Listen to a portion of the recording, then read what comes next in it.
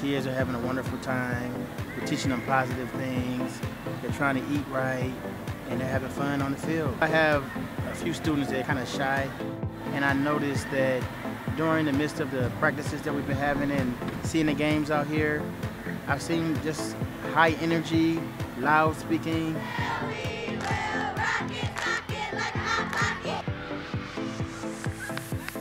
Kids love the program and it's excellent. It's good for their health, it's good for their team spirit, and uh, I think it helps them with school too. They're, uh, they love it. They have awesome, an awesome time on the team. I'm starting to be healthier now that I'm going to soccer, getting my my um, exercise. I meet new friends. It's a it's a good exercise. You're gonna meet lots of people. It's, it's really fun and you're gonna enjoy it. I love soccer and I hope I keep doing soccer. It's huge and I love it. It's so fun. I'm glad that my mom lets me have this experience. When I first started soccer, I was like really shy. I would say like soccer is like really good. Like it's actually really healthy. They it teaches you a lot of things, especially how to stay healthy and to support others.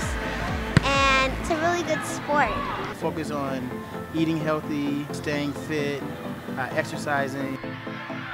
Just seeing the positive accomplishment from the kids as far as when they're in a team event, the sportsmanship, and I think they can see success in their overall living, in their overall health as a, as a part of this program. Soccer for Success is more about having fun and nutrition programs so the kids learn about nutrition.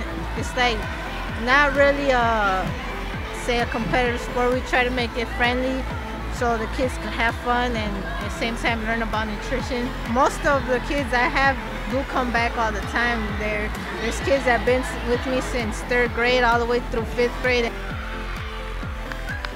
Soccer has been one of the best hobbies I've ever done. In the summer, I always go play with my friends. My, I've met a, a lot of people here in soccer that help me out. Soccer for Success is one of the best things that happened and here in Detroit um, for soccer. You can't find somewhere else to like this and anywhere else. Thank you to Detroit PAL. Thank you, Coca-Cola. Thank you, Coca-Cola.